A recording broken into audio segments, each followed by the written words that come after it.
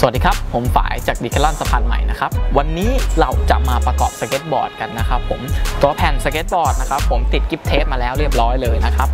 อุปกรณ์ที่เรามีวันนี้ก็จะมีตัวอุปกรณ์ T-Tool นะครับผมมันจะครอบคลุมการปรับหรือการถอดสเก็ตบอร์ด ครบทุกส่วนเลยนะครับผมจะมีตัวล้อนะครับผมเราจะติดลูกปืนเข้าไปให้แล้วนะครับผมปกติ จะไม่มีให้นะครับ เราจะต้องซื้อแยกเอานะ ต่อไปเนี่ยจะเป็นตัวทักนะครับ ตัวทักตัวนี้วัสดุจะทำจากเหล็กนะครับผมตามด้วยแผ่นรองทักนะครับผมแผ่นรองทักจะมี 2 ตัวนะครับของทางร้านเราเนี่ยจะมีให้ทุกส่วนเลยนะโอเค แล้วก็สกรูชุดเนี่ยก็จะมีให้เป็นเหล็กเหมือนกันนะครับผมตัวนี้สกรูชุดตัวอาจจะเล็กไปหน่อยเดี๋ยวผมแผ่นไปให้ดูปุ๊บนะครับตัวนี้ 2 ตัว เห็นชัดกันแล้วเนาะอะเราจะมาเริ่มกันเลยเนาะขั้นแรกเลย เราหยิบแผ่นรองทักของเรามานะครับผมประกอบเล็งจุดไว้ก่อนเลยนะ เล็งจุดเอาไว้ก่อนเลย ผมเนี่ยก็จะเล็งจุดไว้ปุ๊บด้านนี้เลย 2 ด้านนะครับสองด้านเลย ต่อไปเราตัวทักของเรานะครับ กับล้อของเรามาประกอบเข้าด้วยกันก่อนนะครับ เราจะมีแหวนนะครับ ถ้าใครมีแหวนก็สามารถใส่แหวนเข้าไปได้เลยนะครับ เพื่อป้องกันการเสียดสีของตัวล้อนะครับผมตามด้วยสกรูไขปิดเข้าไปเลย ถ้าใครไม่มีตัว T-Tube ก็สามารถใช้เป็น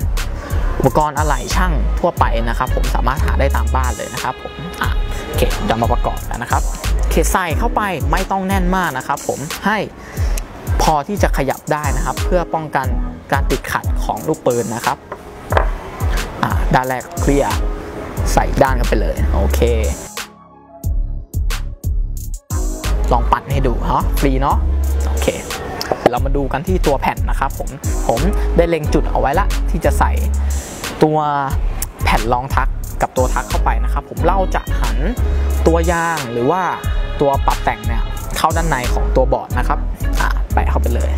การไขให้แน่นตรงนี้เนี่ยเป็นส่วนสำคัญนะครับ ผมเราควรที่จะไขให้ตัวนี้ให้แน่น เพื่อที่จะยึดตัวบอร์ดไว้กับล้อนะครับ ผมเรามาดูกันการใส่สกรูเนี่ยเราต้องยึดให้แน่นจริง ๆ เพื่อที่จะได้ไม่มีตัวไหนเนี่ย หลุดออกจากกันนะครับ เราแทงขึ้นมาเลยนะครับ ตัวสกรูนะครับ ยึดเอาไว้เพื่อที่จะได้ไม่หลุดนะครับสำหรับคนที่ประกอบใหม่แรก ๆ นะครับ ผมผมแนะนำให้ยึดสกรูติดไว้ทั้ง 2 ด้านนะครับ ผมด้านหน้าและด้านหลังก่อนนะครับ เพื่ออะไรเพื่อที่ตัวทักของเราเนี่ยมันจะได้ไม่ลื่นไหลหลุดมือของคุณไปนะครับโอเคหมุนไปเลยหมุนยึดไปเลยนะครับ เอาให้แน่นเลย ตัวนี้ต้องแน่นจริง ๆ นะครับ ผมเพื่อไม่ให้เกิดการติดขัดของการเล่นสเก็ตนะครับ อ่า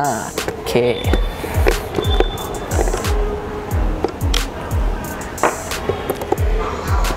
เสร็จไปละหนึ่งด้าน โอเค ต่อไป ยึดไปเลยทั้งสองด้านนะครับสำหรับคนที่มีปัญหาเกี่ยวกับการปรับแต่งสเก็ตบอร์ดนะครับผมหรือว่าไม่รู้ ส่วนไหนของสเก็ตเนี่ยมันเสียหายหรือว่าต้องปรับปรุงยังไงเนี่ยสามารถเข้ามาติดต่อที่ร้านของเราได้เลยนะครับผม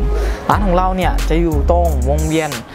บางเขนนะครับผมอยู่บนโลตัสหลักสี่ชั้นสองนะครับผมอบอกตำแหน่งร้านให้รู้กันไปเลย จะได้มาถูกนะครับผมผมจะมีอีกจุดหนึ่งมา